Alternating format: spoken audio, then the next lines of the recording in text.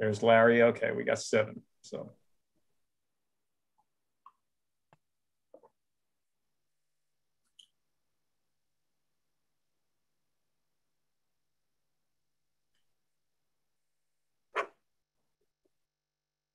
We're good now. Okie doke. Here we go. Welcome to the February 7th meeting of the Transportation Committee of CB6. My name is Gene Santoro. I'm the chair of this committee. Meeting is called to order at 7.04 p.m. And uh, we're joined by Deputy District Manager Brendan Berth. Members of the public, you can raise any questions or comments that you have through the Q&A section of Zoom. If there is time following the committee's discussion, we will field questions from the public. Now, as far as I'm aware, we have no volunteers for minutes takers tonight. I would like to remind you all that the doodle poll is up. I would urge you to please fill it out. We do need people to continue to take notes, even though they're simplified from the minutes forms we used to use. We have to have somebody doing that. And currently we have nobody, as far as I'm aware, Brendan, uh, going forward. That is correct. So please, please, please fill it out. And right now we need immediately somebody to step up and just say, I'll do it tonight. Can we get a show of hands or even a hand? I just need the one. So who here hasn't done it in the last like since September.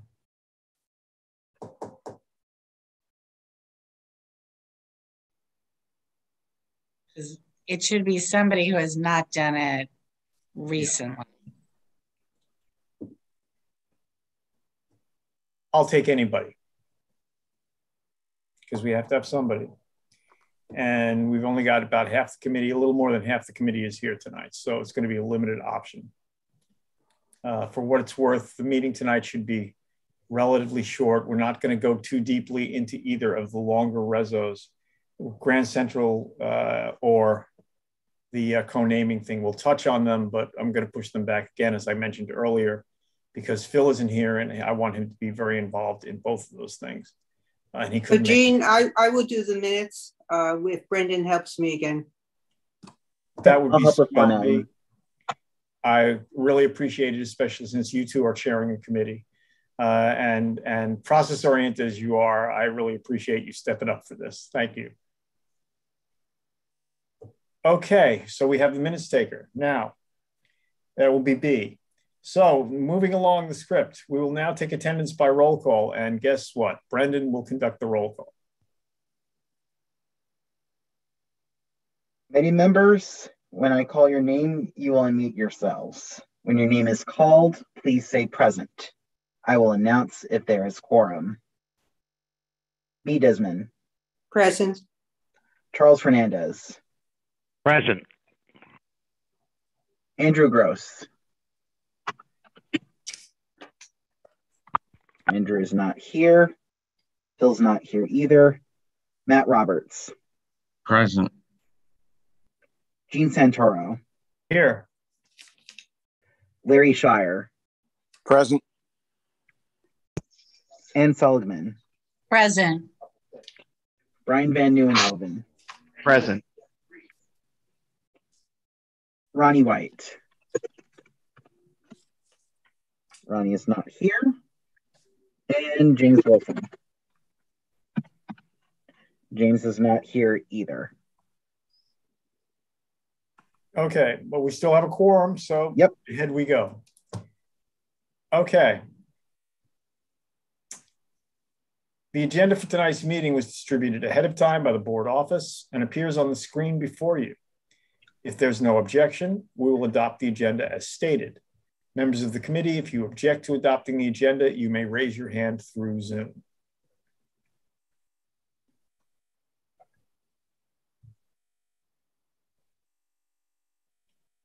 I don't see any hands up. Brendan, do you see anyone? No, I do not. Okay, well then, the, seeing no objection, the agenda for tonight's meeting is adopted. Now, the minutes. The minutes from last month's meeting were distributed ahead of time by the board office. If there's no objection, we will adopt the minutes as drafted. Members of the committee, if you object to adopting the minutes, you may raise your hand through Zoom.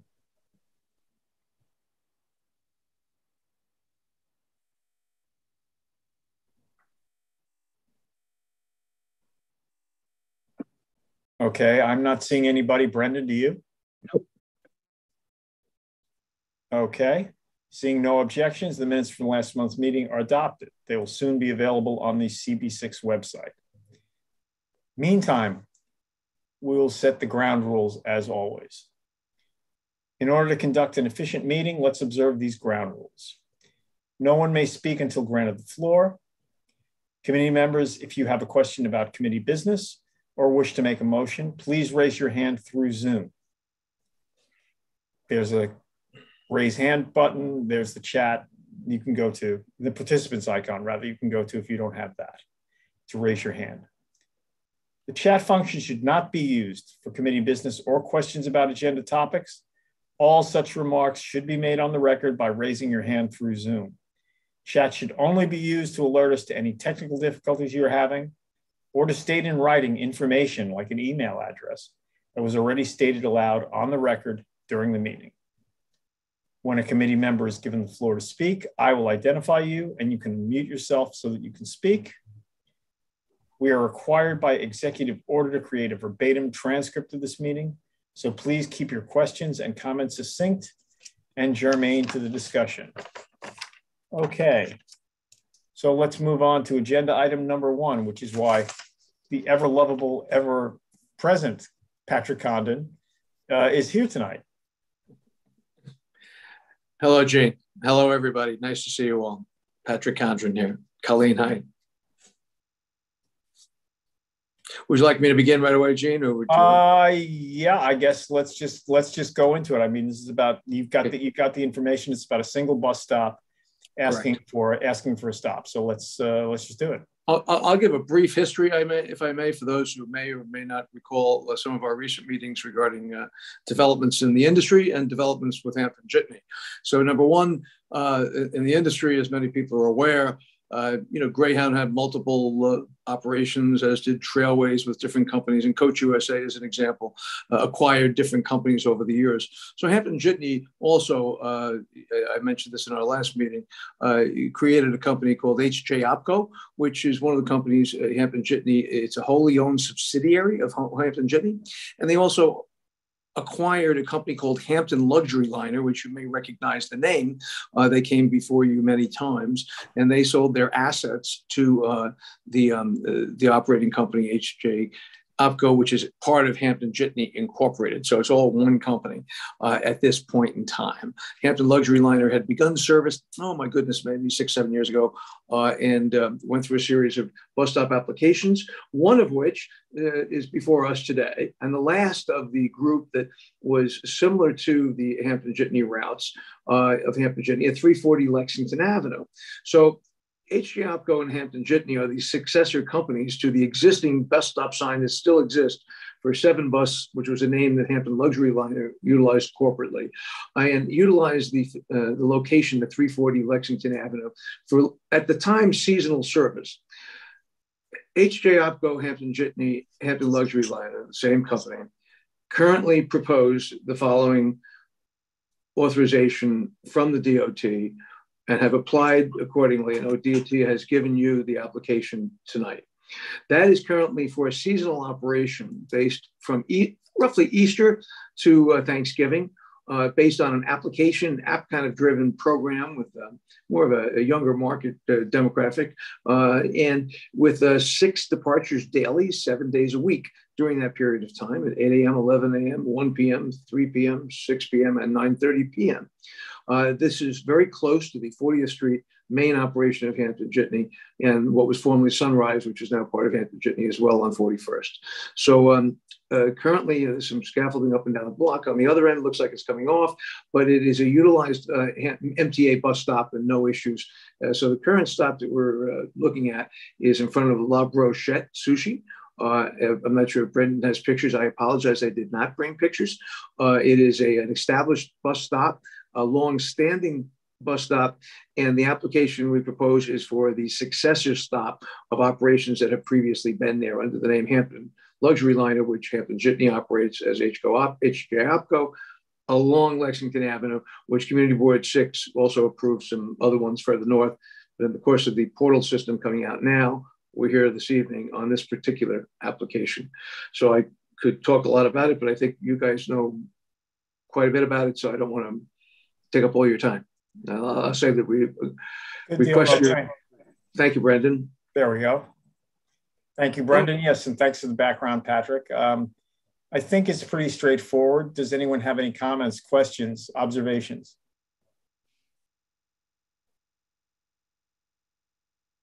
There's the stop at which got, still has the sign on it. See there's a little sign there? It still says seven bus. So we propose it and say, Hamptons, there it is up there. On the left, under 101, 102, 103, there's a, it says seven bus, which was the earlier company named corporate corporate name of Hampton Luxury Liner. As I indicated, bus companies, airlines, and ship lines often have multiple company operating names operated by the same company. That's the case here. Yeah, Bea, you have your hand up. Yes, I was going to recommend, not hearing anything, that we uh, make a resolution, propose a resolution supporting uh, the successor company um, as outlined here on a seasonal basis and the number of stops. Okay. We've got a couple other hands up. Let's go to them first. Uh, Anne? Yeah, um, that seems reasonable to me. My only question is about uh, the parking regulations. Is there parking ever allowed? Like it's a bus stop, so it's and and it, this is just like a, a quick pickup, um, a pickup drop off, right? So it's not like a bus is parking there, right? Actually, if you'd like me to answer that, uh, it's only for pickup only. It's not, not drop off at this location. Uh, drop So off. it's- So it's not going to interfere with, you know, if there's parking allowed on that block at other times of the day, it's, you're not going to no- be interfering with MTA operations. If, if Brendan is here, um, uh, he can look to the far left of the corner of 39th and Lex. You'll notice a little red sign that says no standing Right. anytime. Uh, Right. it's right on the corner in front of the Italian place, a great little restaurant there. I'm sorry, Yeah. it was there a moment ago.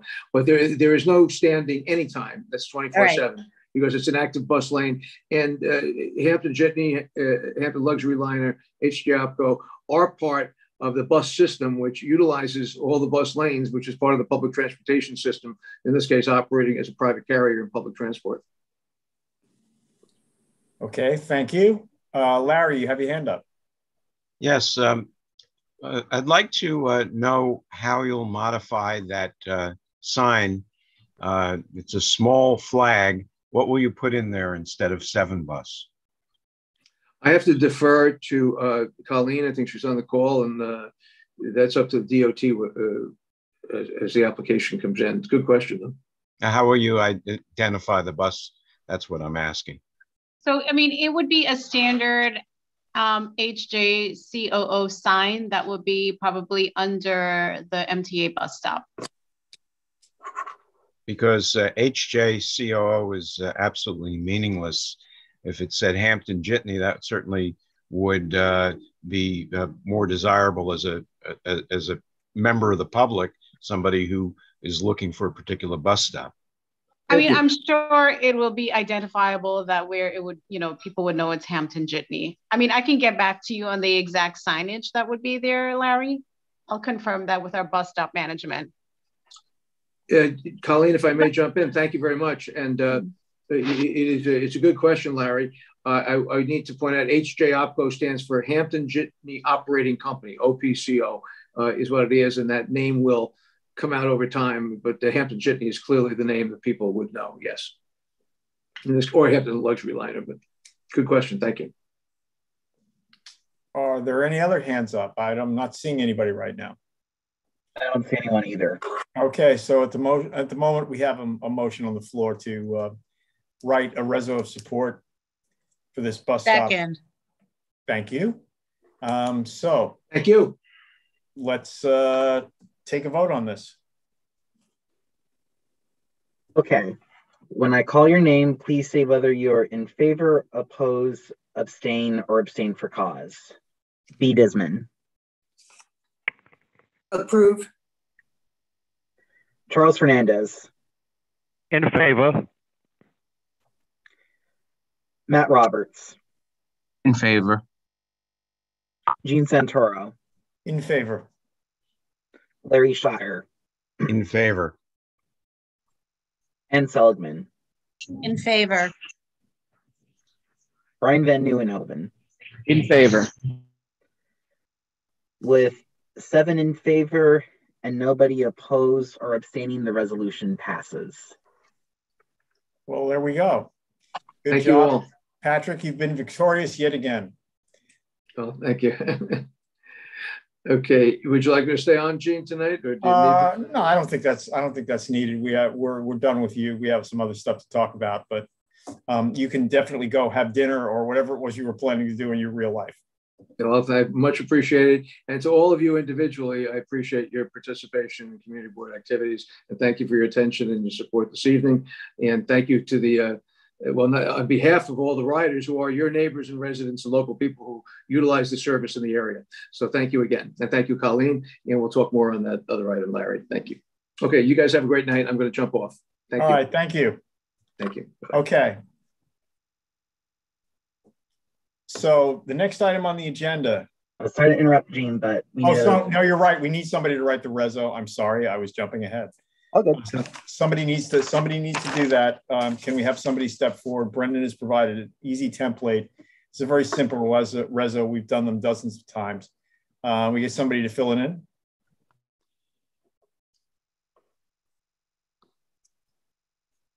I'll do it. Thank you, Ann. Appreciate it. The only, the only thing about this, I mean, it's very short and it's very simple, but we do need to get it into the office. I guess that would be tomorrow, Brendan, is that right? Or Yes, Wednesday but it- morning, okay? Yeah, I, ideally tomorrow, but it should be pretty easy. As Gene said, I have a resolution template for bus stop applications, so um, it's only a few things that you'll need to fill in.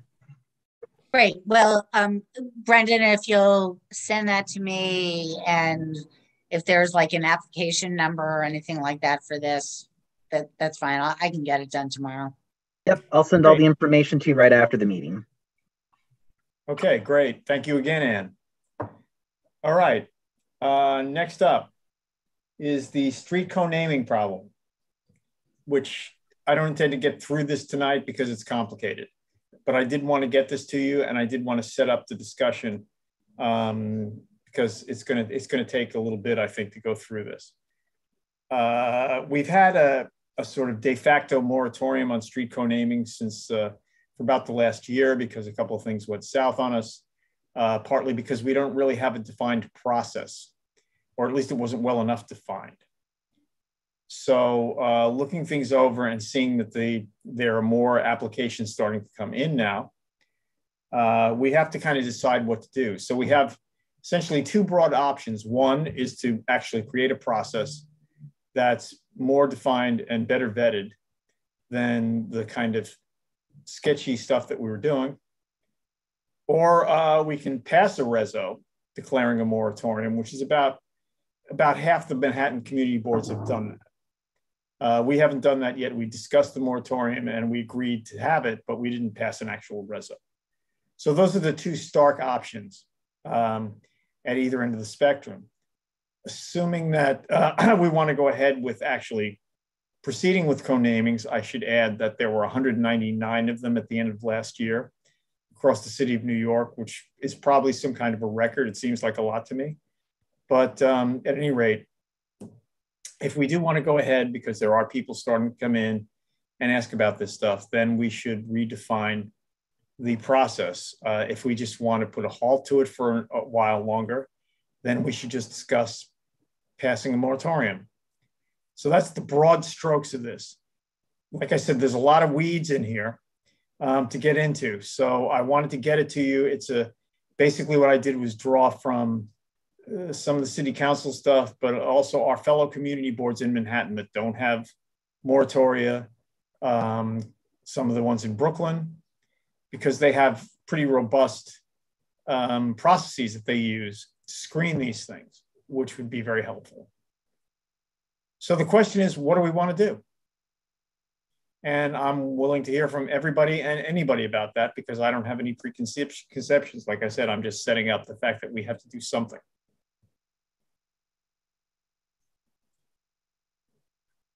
Okay, Anne.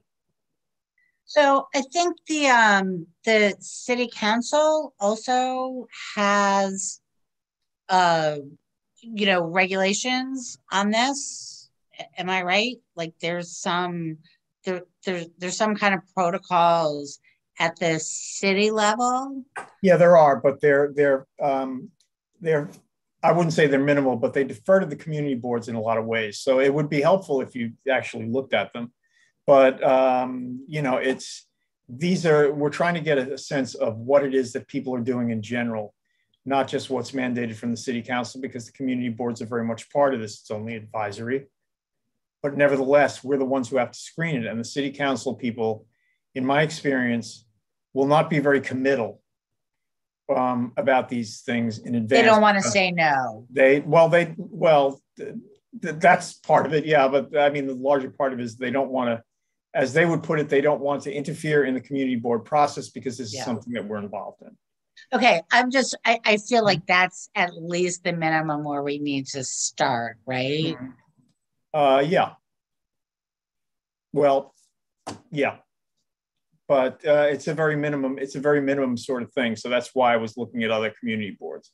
And I looked at about a dozen of them uh, and pulled this stuff together from them. And you can see I sent you guys uh, a partial list of, of what those committees, were, what those committees and boards were. So you can see from scanning them that some of the requirements range widely. I mean, some people had like 20 years of service. Some people have 200 signatures on petitions.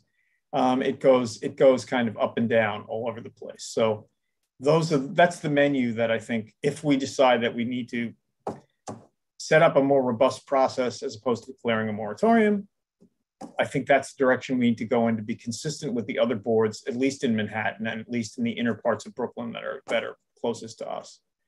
Um, that would be my suggestion anyway. Okay, Bea, your hand is up. Thanks, Gene. Sure. So I actually started to think about this process, um, and we can talk about it in the new business uh, with the death of our former district manager.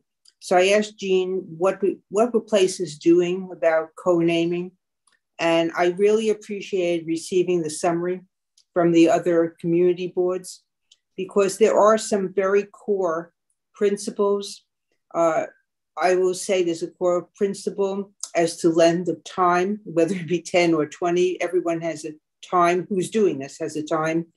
Um, I think there's also the involvement of the community, whether you do petitions or you don't do petitions.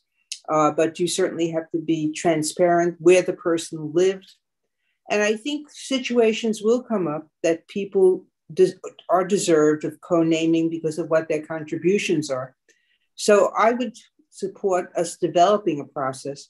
Doesn't have to take place in one meeting or two meetings, but I think you know it makes sense for people who have really contributed, and we would define what those contributions are to have the ability to recognize them through co-naming. So I would move to working on a process as opposed to a moratorium. Thank you, Bea. Yes, and I would I would agree that um, this is not something we're going to get done this month or next month. It's it, I mean maybe we'll get it done next month, but it's something that it's it's not a big rush. It's something that's looking to the future, maybe a few months ahead, um, in terms of having to be done by then. But um, if we're going to go ahead, we should definitely do it, and I think those core principles are our sound recognition of what's going on in in the community boards that are the closest to us and the most most likely to be like us in terms of our attitudes. Um, Brian, your hands up. Welcome. Welcome. Yes, um, I was gonna. I agree with everything Bea said, and I think we should form a task force to discuss this outside of the committee and review all this extra data that we have and all this extra information in terms of like what our decision criteria could be, and then form a proposal to come back to us for a resolution that we can review ahead of a meeting and then have a vote on. What do people think about that? I think that's a great idea. Okay. Anyone else?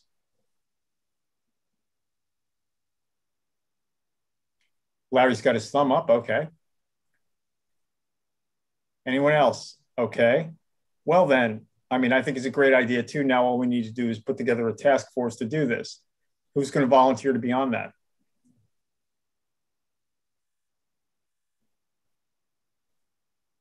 Well, Brian, since it was your idea, I think you're automatically on it.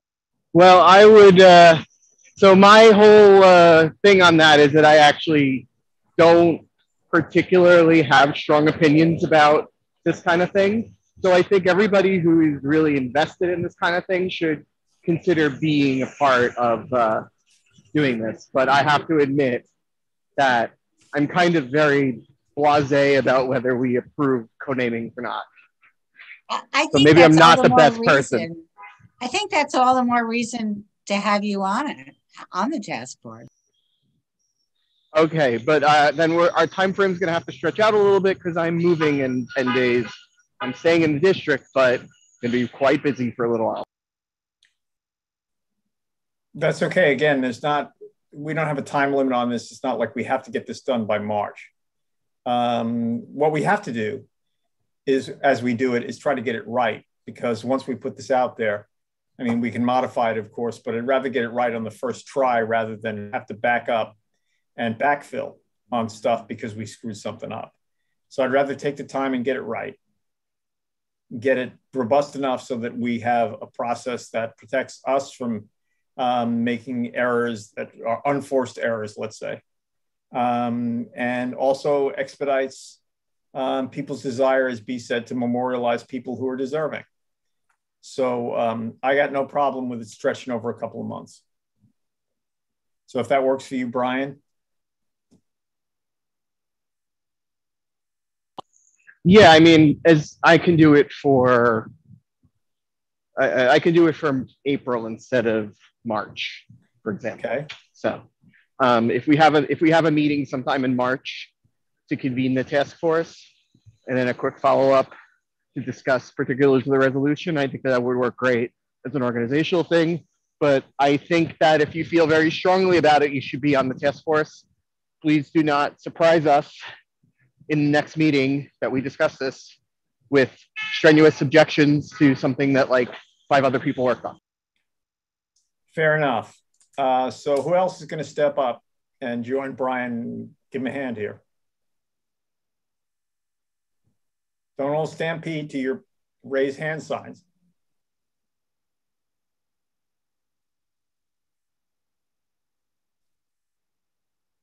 Not seeing anybody. Okay, if somebody else will write the reso, I will do the task force. I also have no strong opinions on this, but come on, guys, like step up. Being on this community board is not just coming to meetings. Uh, Gene can send an email after the meeting too. We don't have all we don't have full attendance here tonight, and uh, we can convene about that uh, volunteering offline. But I mean, if it's me and Anne, that's a start. Right. Okay. Uh, good enough. And yes, Brendan can definitely send out an email alerting people, and I'll follow up with with a notice about this. Um, My Larry. agreement was conditional. excuse me. My agreement to do it was conditional. Okay. I said I would do it if somebody else will write the reso. And frankly, I'd rather write the reso. And I'll write the reso. Okay. Does that mean you're also on the task force? No, No. I'll write the bus resolution. Uh, we Oh, I already think Dan was talking that. about the co-naming resolution. We already I have was somebody doing not. that, Larry. Yes. Larry understood me correctly and Oh. called my bluff. Could you explain? I don't follow. Gene, I'll I'll stay on the task force, but we can coordinate this offline. All right. Yeah. Because this is this is obviously not uh, not going along swimmingly. Let's say. Uh, let's give everybody a chance to think about it. Let's give the, the members who aren't here a chance to step up and volunteer. It's it'll be a couple of hours worth of work, but it's not going to be that complicated. I think that the pieces, there are a lot of pieces, but none of them is that complicated once you separate them out. There's a handful of them, and the things that people have to decide on will be pretty straightforward. So let's do it that way, Brian. Thanks for the suggestion. I think that's a good way to go. We'll do that. We'll convene offline and get other volunteers. Uh, at least uh, at least two. I think we use one or two is good enough for you. For me, yeah. Okay. Well, I I would be happy with a group of four or five, but if we have to proceed with three, that would be fine. Yeah, There's been times on budget where I convened a task force and it was task force of one.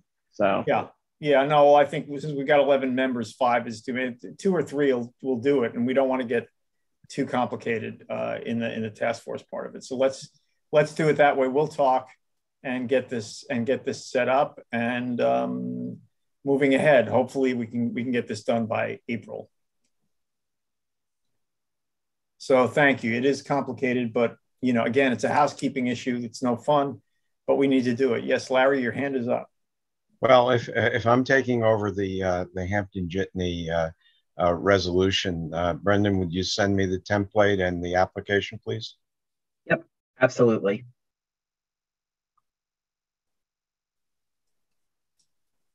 Okay. Thank you. Let's move along to agenda item number three then, which is Grand Central Terminal, which uh, in the time honored method of politicians around the country, I'm going to kick this can down the road because uh, Phil is very involved in this. I wanted to be more involved in this and he couldn't be here tonight. So I don't want to get too deep into the into the weeds on this without him being here. So uh, and again, this is something that isn't it's not time crucial anymore. I mean, DOT is, as Colleen can tell us, uh, is pushing back timelines on all kinds of projects all over the city right now. Uh, this is not something that even if we got it done this month or next month, it was going to go into operation. It's probably not going to happen until 2023 at the, at the earliest. So let's just um, wait on that so that we can actually work our way through it and hopefully uh, the same thing when we get it done, it'll be done as opposed to we're just sort of slogging at it, throwing pieces at the wall, and then having to double back. I think that makes more sense in terms of procedure. So unless anybody has any objections, let's proceed that way. Okay, any hands, any objections, any comments, whatever?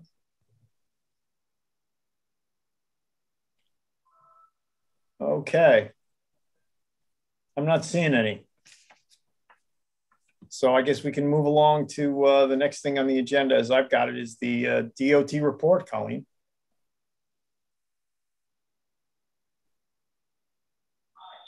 Hi, hi Gene, hi everyone. It's Colleen Chattergoon from City DOT.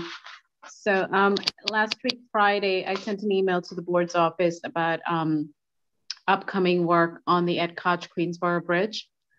Um, that work is scheduled to begin on 2-14-22. DOT will begin its planned project to replace the upper deck of the Ed Koch Queensboro Bridge. And I sent an attachment um, of a one pager of the work to be done. I can forward that to you, Gene, um, when I finish here. The south outer roadway will typically remain open to 1 a.m. each night. The project will include everything from installing the new deck, painting, lighting upgrades, and the bike and pedestrian paths upon completion in 2023. And of course, there will be traffic enforcement agents there to assist at critical points. And we have a liaison for the project. She's really fantastic. Her name is Anita, and she's been keeping the community board abreast as well as the elected officials of all of the updates. Okay. That's all I have. Okay. Well, I'm sure we're going to have some questions for you about uh, other things in a minute. Meantime, uh, Larry's got a question right now. Yes, uh, this relates to the uh, the Queensboro Bridge condition as it is right now. Um, the existing uh, shared uh, path has uh, a darkness problem, meaning that uh, many of the streetlights are not functioning. calls to 311 have not resulted in getting that rectified. there are various places en route, um, beginning down on uh, on 60th Street uh, before the switchback, and then uh, over on the um, uh, closer to the Queens side. Uh, they're very, very dark areas. Uh, well, the other lighting, lighting, upgrades are planned for the project, uh, Larry. Just so you know. No, but if but if you're walking across the bridge tonight, you're likely to get slammed by a um, illegal vehicle, and that's the other issue. Um, uh, motorized vehicles should not be in that lane, and uh, they are going at excessive speeds, and uh, people are getting their hands broken as they're getting clipped. And uh, this is uh, a very dangerous situation. What does DOT intend to do for this additional year as uh, riders on illegal vehicles become more and more aggressive? Um, you know, Larry, I'm not aware of what you just mentioned to me. I would have to follow up with our Bridges division to see if they have any reports of, of any crashes that's occurring. Um, Streetsblog has an article uh, today or yesterday on this very subject. I uh, okay. recommend that you take a look at I, it and then follow I up with your people. Take a look at it because I know when initially when uh, we issued, you know, the statement for the work to be done. I know Streetsblog did an article um, last week, but I don't know of anything recent. I'll definitely take a look at it and I'll discuss it with our bridges division. Thank you. You're welcome, Larry. Okay. Uh, Colleen, we've got a question uh, from a resident. Sure. Uh, 25th Street between First and Second Avenue. Traffic has been very problematic over the last three years, spilling onto First Avenue. Um, Brendan has tried to help in the past, but DOT is claiming no. I don't know exactly what that means. I guess it means that they're saying there isn't a problem. Is it the 20- can be incessant, and if an ambulance gets stuck, it's a long way through. It's an exit off the drive, yet has no turn lane. So anyway, this is like, it's for those of us working from home it's very problematic. So that's that's the question. The 25th Street uh, exit off the FDR between First and Second Avenue seems to be having a problem, according to this resident. Okay, um, we'll be more than happy to look at any signal timing changes there. Can you forward me that email if it's an email chain that was sent to the office? Uh, it's in the it's in the Q and A right here. It's in the Q and A. Okay, great. All right, I'll I'll take a look at it. I'll get that information. Terrific. Thank you. You're welcome. Okay. Any other questions for Colleen before I move on to the chair's report, which you're going to have some. Colleen, I'd appreciate it if you stick around because I'm sure this is going to prompt some reactions. I um, will, definitely. Thank you. Um, anybody else have any further questions for Colleen before I do the chair's report? Guess not. Okay. Uh, the first thing was up that I was going to talk about was the 59th Street Bridge. We've covered that. Um, second thing is that I hear that the 43rd Street shared street redesign is in the works uh, and was presented to the East Midtown Governing Group. And I was wondering when we would get to see that. Hi, Gene. I will follow up with our pedestrian plaza group. I know Brendan reached out to me regarding a presentation this month. I will uh, check and confirm and I'll get us on uh, next month's agenda for that. Terrific, thank you. You're welcome. Okay. Uh, the next thing is the ever popular NYU Langone bus stop and construction problem. Um, NYU and DOT did not get together sufficiently to discuss this in any depth. So that's one reason they are not here this month because there was no point in having them come because they had nothing to discuss. Um, but they're hopeful that this will meeting will take place within the next month so that we'll see them on next month's agenda, at which point we will have to grapple with um, what that is gonna, what is gonna ensue as a result of those changes, um, which will be, as I understand, for about three years and will involve having a staging area on First Avenue as well as moving the bus stop. It's one reason the bus stop has to move. 30th Street can't be used because it's already a staging area for a couple of other projects that are ongoing around NYU. So that's the deal with that. That's why they're not here this month. That's why they'll be here next month. And just to give you a little update on that, um, regarding the M15 bus stop relocation on First Avenue between East 30th and 34th Street, we've been working with NYU on that. And I'm told, because I checked with our bus stop management, and I'm told that a payment invoice was submitted. Um, And my colleague in DOT's bus stop management division confirmed this and spoke with the contact at NYU advising that the timeline for the work to be completed is 45 business days from the date that the payment is received. However, we have not received any payment yet. So hopefully when NYU comes before the committee next month, you know, they'll have more information to tell you about the relocation and how long that will be. Great. Okay, thank you. Yeah. You guys disagree about the state of the check, but that's okay. That's not my problem. That's between the two. I know. I just wanted to let you know that's what what that's probably what held them up from coming as well. Yes. That's probably a factor. Okay. Yes.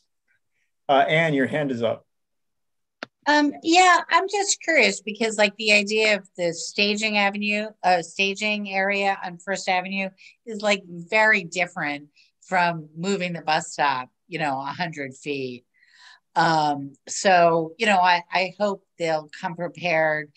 That I, I, you know, I go to that hospital pretty regularly and it the buses are already lucky if he if if the if they can get in there because there are so many um, both private cars, but especially, you know, you know, for hire vehicles trying to use that space. People are coming there who can't walk very far. So, um, yeah, like it's, I, I, you know, moving the bus stop 100 feet is not a big deal.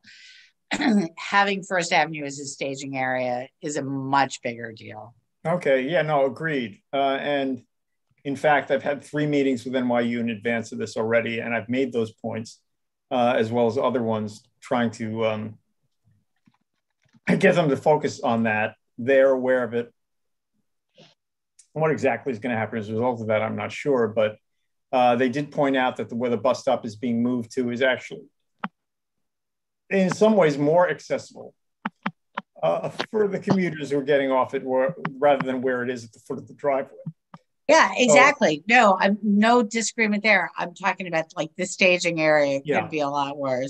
Well, yeah, it's uh we have again, we haven't seen any of that because that stuff hasn't been worked out, at least as far as I'm aware. I have seen nothing.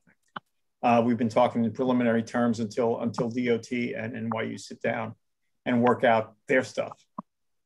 so hopefully, yes, I agree with you. Hopefully, we will see um, the care and discretion that they uh, they use to uh, to do this with. But we'll see that when we see it. Uh, Larry, your hands up. I agree with Anne wholeheartedly about uh, uh, hopefully permanently relocating this bus stop. Ever since the bus stop was put in its current position, uh, the problems that she's described have existed, and no amount of NYPD enforcement has been able to uh, make uh, the slightest bit of difference. So uh, I think we want to keep this in mind when we have that meeting. Okay, thank you. Anyone else? Okay, it doesn't look like it. So last thing on my report is the um, CB4 thing I sent to you guys uh, about pedestrians and outdoor dining and CB4's uh, letter about it because they're going to they're going to that was their testimony will be their testimony to the city council tomorrow. That's one reason I only got this on Sunday from Christine Berthet at CB4. Uh, so I wanted to get it out to you guys in case anybody felt strongly enough about this to um, either testify as individuals or just watch the hearing or whatever. Um, but I wanted to also put the question to the committee about whether or not there are enough people who feel strongly about it one way or another to support it uh, as a as a group, or whether we should just let it go and let individuals take the uh, take the lead on this. I'm open. So, what are the, what are your thoughts, if any?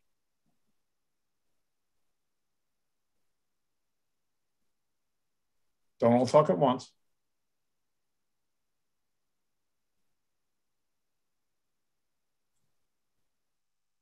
I'm assuming that means nobody feels very strongly about it, uh, since nobody's jumping up and down.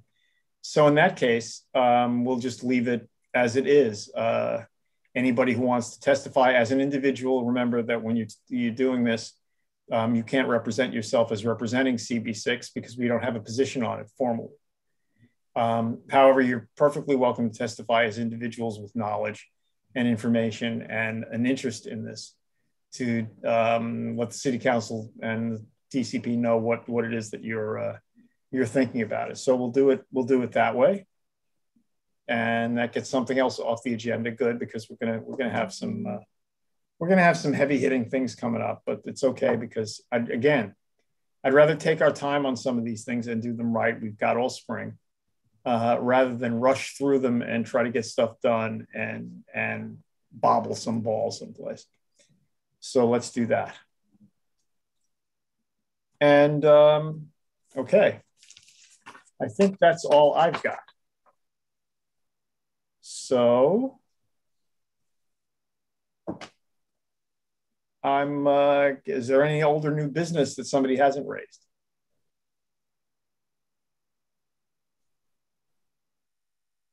Brian. Motion to adjourn? Second. Okay, we don't actually require a second anymore, but thank you, and that's fine. I'll take it. Uh, so let us let us do that at 7:49. Uh, again, I appreciate you guys all showing up and uh, and doing this. And you know, again, tonight tonight was a relatively easy meeting um, because I think it's just I think it's just better that way. We're gonna have we're gonna have some trenches to dig uh, over the next two or three months, but hopefully with the task force operating um, on the co-naming and um, some of the other things we've got in play, we've already made progress on those things. So I think that we're in, we're in pretty good shape going forward to work through June and get all this stuff done, which is basically the, the outer target that we've got. So I think we're good. Again, thank you very much for coming. Um, I would say don't get wet on your way home, but hopefully that's not a problem for anyone and uh, off you go. So thank you again. Thanks for the hard work and uh, see you all in a month.